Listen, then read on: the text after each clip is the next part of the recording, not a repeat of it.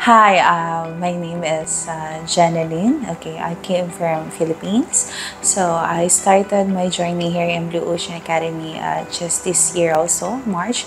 But then again, I'm so happy and thankful for Blue Ocean Management because we're, uh, we're celebrating a year of happiness 2023 and it's indeed a year of happiness also because the, uh, the team and our management is very supportive uh, when it comes to internal and external also. And uh, all the love and support from our managements also is one of the great experience that you will have as an employee. And here we're just not employee but then again it's also as a family